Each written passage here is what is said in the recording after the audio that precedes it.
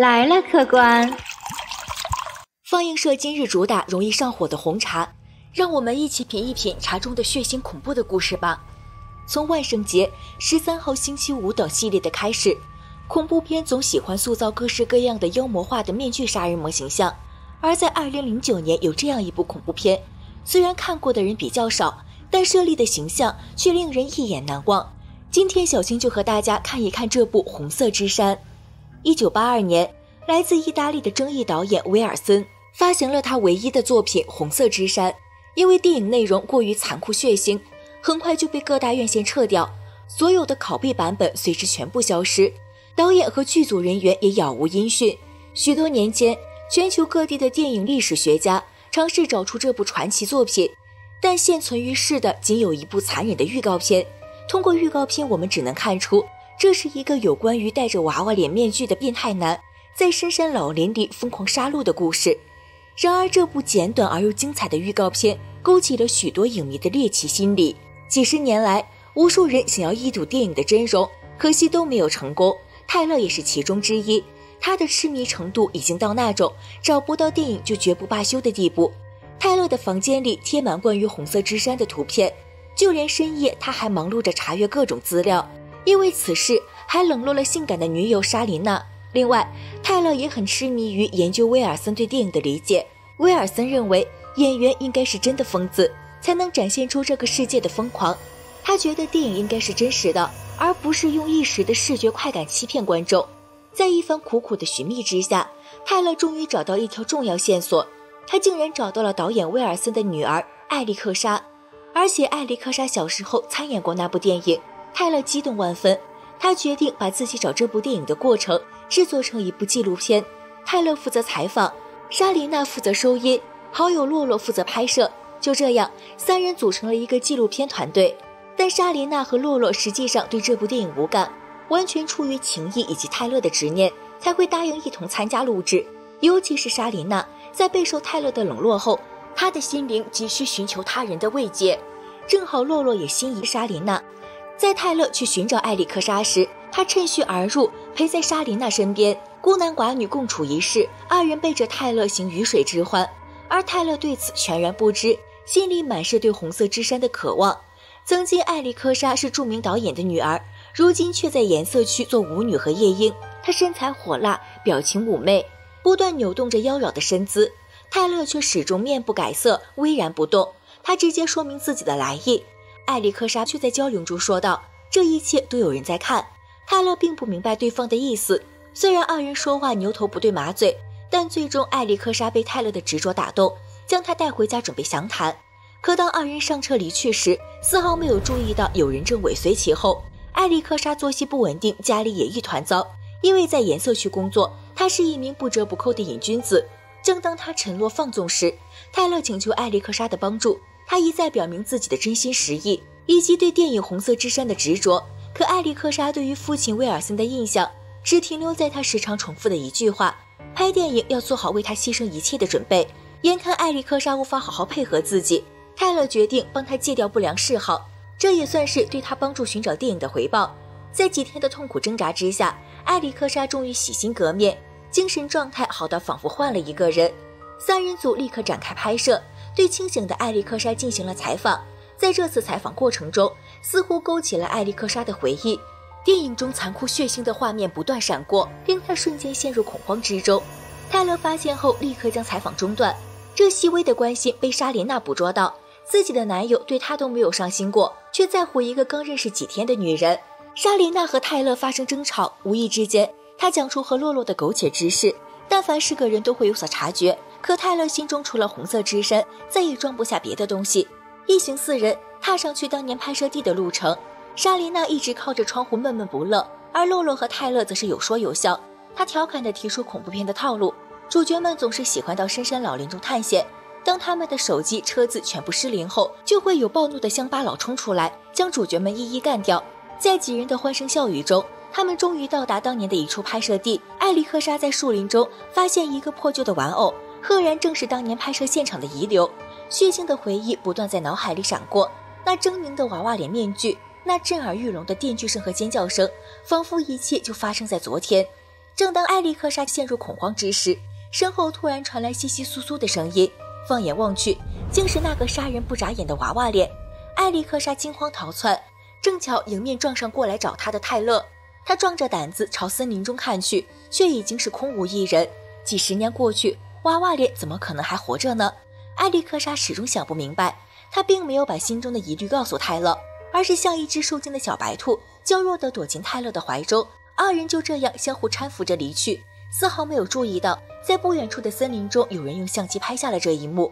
随后，一行人继续驱车前进，赶往威尔森曾经居住的小屋。据艾利克莎回忆，电影的所有资料都存放在小屋中。沿途，他们经过一家加油站，泰勒惊奇地发现，他竟然与预告片里出现的一模一样。几人激动地架起机器。对这里的本地人进行采访，白发女人直言，威尔森为了电影的真实性，在拍摄过程中使用了真的鲜血。当地人无一听了不为之胆寒。白发女人接受采访的时候，认出艾利克莎正是威尔森的女儿，艾利克莎也没有否认自己的身份，回忆起以前父亲开着福特汽车，载着那一卷一卷的胶片来回跑。另外，当地人光头有幸观看过红色之山。不过，毕竟是一个粗俗之人，泰勒并没有从他这里得到自己想要捕捉的东西。于是，一行人继续踏上行程。即便泰勒在驾驶位开车，可他无时无刻不惦记着红色之山。艾利克莎倒也不反感，他饶有兴趣提起当年饰演娃娃脸的演员。此人是个反应极为迟钝的人，表演也不尽如人意。几人边说边笑，到了一处没落的树林里，泰勒想要不虚此行，找到有关于电影的原始资料。所以他们决定弃车步行前往目的地。几人收拾好装备，洛洛带好自己准备好的枪支，就这样进入了深山老林中。可当他们离去之后，先前的偷拍者再次出现在身后，仿佛四人的所有经历，偷拍者全部都记录了下来。几人徒步行走之时，莎琳娜突然踩到一块腐烂的人骨，并且上面还有一个锋利的钩子。泰勒好奇地拿起来查看，猛然间发现这里正是电影的一处拍摄地。艾丽克莎再次陷入回忆之中，娃娃脸将钩子镶嵌在女人的四肢上，女人惊恐的挣扎，可换来的却是无休止的疼痛。娃娃脸冷酷无情，伴随着女人的呜咽声。娃娃脸打开机关之后，女人的身体猛然间被撕了个粉碎。这些残酷的情景历历在目，艾丽克莎心中顿感不安，想要劝服三人返程，但眼看胜利就在眼前，三人怎么会放弃呢？随着行程的深入，天色渐暗。几人停下来暂作休息，他们饶有兴趣地围在火堆前，听艾丽克莎讲述关于娃娃脸的故事。娃娃脸的命运其实也很悲惨，母亲被山里的猎人欺负，他父亲得知后割伤了他的脸，并且长期将他囚禁在地下室。娃娃脸为了能够得到父亲的喜爱，他把自己最精致的娃娃面具缝在脸上，但始终得不到父亲的喜爱。娃娃脸是一个有血有肉的人，而不是像传说中那样刀枪不入。相比较娃娃脸的身世，其实泰勒对熏之事更感兴趣。听说在红色之山里，娃娃脸会把尸体晒成干尸用来储存。对此，艾丽卡莎却表示自己并不知晓。渐渐的，天色已深，只剩下泰勒坐在火堆前，一遍又一遍看着今天拍摄的素材。然而，万万没想到的是，在回放过程中，泰勒发现森林里竟有娃娃脸的身影。就在这时，艾丽克莎突然走到身旁，她询问泰勒，到底为何要找到这部电影。泰勒的回答却是寻找自我，证明自己能够做到别人办不到的事情。就在二人闲聊时分，收音话筒里突然传来奇怪的声音。泰勒连忙过去查看，结果不知被谁一棍敲晕。等他再次醒来，四人已经被五花大绑，而绑架者竟然是在加油站采访的当地人。他们不仅抢走了洛洛的手枪，还拉走艾利克莎，准备拍爱情动作片。谁知就在几人猖狂之时，一把旋转斧头从森林中飞出。娃娃脸猛地扑向几人，壮汉们纷纷拿出火药枪支对抗，却不料娃娃脸竟然刀枪不入。娃娃脸挥动斧子，冰冷的利刃划过壮汉们的肌肤，他们一个个相继丧命。随后，娃娃脸冲向艾利克莎，凶狠地掐住她的脖子。艾利克莎颤抖着声音哼唱起一首儿歌。娃娃脸似乎回忆起什么，瞬间有些恍惚。他捡起地上洛洛带来的真枪，却不知该攻击谁。艾利克莎趁机逃跑。娃娃脸也紧随其后追了上去，剩下三人趁此机会松绑。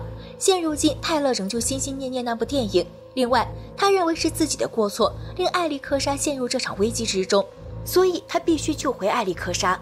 洛洛和莎琳娜重情重义，也不愿丢下泰勒独自一人面对。他们想要报警寻求帮助，可莎琳娜讲不出这里的具体位置，警方根本无法赶来救他们。这时，细心的洛洛发现壮汉们发射的竟然是空包弹，他怀疑这其中定有猫腻。但莎琳娜急着救泰勒，根本无暇管这些事情。就在他尝试和警方沟通时，周围突然传来窸窸窣窣的声音。洛洛连忙拉着莎琳娜逃跑，谁知莎琳娜途中卡在树枝上。虽然她被解救下来，但因为尖叫声过大，娃娃脸似乎已经发现二人的踪迹。洛洛警惕地点燃照明弹，不料娃娃脸竟然就站在二人面前。为了让莎琳娜逃跑，洛洛留下与娃娃脸对峙，可娃娃脸有枪，一招轻松将他解决。莎琳娜逃到森林之中，她内心恐惧至极，唯有身体缩作一团，才能给她一些安全感。就在她无助之时，电话铃声却突然响起，这无疑又为娃娃脸指明方向。好在莎琳娜反应迅速，再次脱险，但娃娃脸仍旧对她穷追不舍。他拿着锋利的斧头跟踪，漆黑的森林中，泰勒一人打着手电筒寻找。终于在一番努力下，他来到了娃娃脸的大本营，也就是威尔森曾居住的小木屋。可泰勒看到门口摇椅上有个人，所以他不敢轻举妄动，只能从后屋的一个窗户偷偷翻进去。事到如今，泰勒还是不放弃自己的执念，拿着相机在屋子里拍摄。墙壁上贴着娃娃脸的海报，并且其中一个房间里还挂满了胶卷，有一张胶卷竟然记录着泰勒第一次见到艾丽克莎的画面，他顿时感到诧异不已。就在这时，艾丽克莎的呜咽声突然传来，泰勒循着声音找了过去。结果，艾利克莎竟一丝不挂被绑在床上。她颤抖着带着哭腔解释：“原来电影销声匿迹的原因是这部电影根本没有拍完，现如今他们仍旧在拍摄中。”二人连忙逃出木屋，恰巧遇到从森林里逃出来的莎琳娜。原来她本以为这里有居民可以帮助自己，结果等走近才发现门口座椅上的人竟是一具干尸。莎琳娜瞬间汗毛炸起。当遇到泰勒和艾利克莎时，她的情绪依旧很崩溃。莎琳娜想要立刻离开这里，却不想娃娃脸突然从屋中冲出，猛地扑倒了莎琳娜和泰勒。当娃娃脸的手搭上艾利克莎的脖子，艾利克莎一改惊恐的表情，冷酷地命令娃娃脸将跑掉的莎琳娜追回来。娃娃脸对他言听计从，急忙去追踪莎琳娜。情急之下，莎琳娜打开一扇门躲了进去，不料里面竟然挂满恐怖的干尸，赫然正是预告片里的熏制室。眼看娃娃脸步步逼近，莎琳娜却无处可躲。谁知娃娃脸进来之后，将角落里和衣服堆翻了个遍，也没有找到莎琳娜。无奈娃娃脸只好去别的地方寻找。当关门声传来，莎琳娜才从满是血水的大桶里慢慢探出头来。她环顾之下，确认周围已经安全，连忙擦拭身子，从干尸上扒了件衣服穿上。莎琳娜小心翼翼地打开房门，想要确定娃娃脸是否离去。殊不知，娃娃脸就站在屋顶上，冷冷地盯着他，直到莎琳娜意识到一切为时已晚。娃娃脸手持武器冲下来，莎莉娜还是难逃一劫。当泰勒从昏迷中醒来，他已经被绑在监视器前。这时他才明白，原来这一切是艾利克莎精心策划的。从泰勒找上他的那一刻起，一切都在艾利克莎的预料中，包括加油站的那群壮汉，也是艾利克莎花钱雇来的演员。壮汉们枪里装的空包弹，所以才会造成娃娃脸刀枪不入的假象。但同时，壮汉们也是牺牲品。一完成任务就被娃娃脸解决掉，而艾利克莎的父亲威尔森，也就是《红色之山》的导演，其实根本就没有去世。这些剧情都是父女俩精心策划的，整个过程威尔森无时无刻不在跟进拍摄。泰勒猛然觉醒，认为他就是所谓的娃娃脸。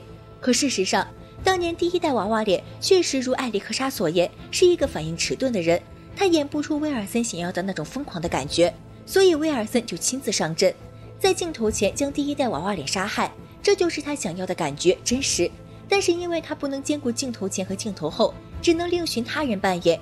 威尔森找不到嗜血如命的演员，那么为何不试着自己创造一个呢？于是，在艾利克莎尚未懂事时，威尔森强行与她结合，生下一个男孩，也就是如今的娃娃脸。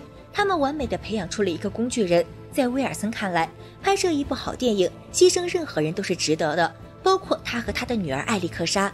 威尔森追求极致的真实，就连电影中最残忍的缝制面具的桥段，也是娃娃脸自愿进行的。在得知电影的所有故事后，泰勒实在震惊的无话可说，甚至将威尔森视为禽兽。可在威尔森眼里，泰勒也不过是个披着羊皮的狼。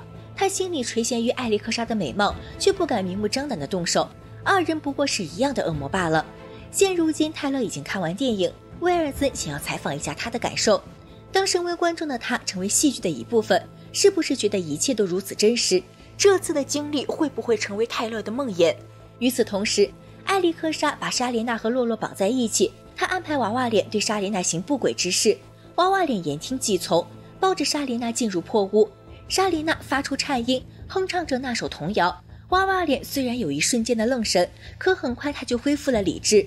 You can keep singing, if it makes you feel better. 很显然，童谣只有艾利克莎唱才管用。娃娃脸冷漠地关掉屋门，强行和莎琳娜结合。屋外，艾利克斯正在折磨洛洛，他残忍地启动自制刑具。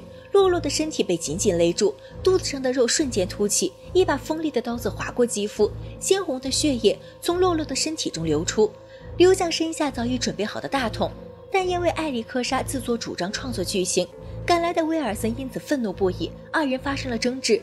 威尔森想要猎物透露出惊恐的情绪，而不是像艾利克莎这样的折磨表演，这对于观众而言不够真实。威尔森暴怒地呼唤娃娃脸，向泰勒展示自己如何拍出一个好电影。独自留在破屋中的莎琳娜试图挣扎，她的手腕全部被铁链禁锢，只能强忍疼痛从里面挣脱，鲜血瞬间染红了她的双手。好在最终莎琳娜挣脱了束缚。此时，娃娃脸手持锋利的尖刀抵在洛洛的脖子上。面对好兄弟出事，泰勒仍旧表现得十分淡漠。直到洛洛发出怨言，他才试图吸引注意力。泰勒以给威尔森名利为条件，换取三人存活的机会。可威尔森如果追求名利的话，他怎么可能一生都在拍摄《红色之山》？他是疯狂的，根本无法与人相比。他不需要任何人成就自己。这时，艾利克莎暴跳如雷，他所做的一切被父亲质疑否认。明明电影里的所有工作都是自己在做，他为什么不可以当导演？艾利克莎崩溃至极，举起刀子戳向洛洛的身体。这是他的剧本，是他的剧情。威尔森认为这已经犯下严重的错误，大大降低了自己的电影标准。艾利克莎愤怒至极，他扯下娃娃脸的面具，一个满是疤痕的恐怖脸庞赫然露出。面对疯狂的女儿，威尔森兴奋不已。这只不过是拍好电影应该做出的牺牲。从父亲到女儿，女儿到母亲，母亲到儿子，一个真正能够表现出自我的导演，才能够拍出好的电影。艾利克莎愤怒地咆哮，他认为没有人在乎文字背后的意义，只要残忍的杀人就够了。威尔森猛然间觉醒，一枪将他打倒。这时躲在一旁的娃娃脸不再惊慌，在哀悼完母亲的去世后，他重新戴上面具，用锋利的铁丝紧勒自己的脸庞。威尔森兴奋地进行无死角拍摄。命令娃娃脸去将这里的一切结束，可就在他兴奋至极时，娃娃脸却冲向威尔森。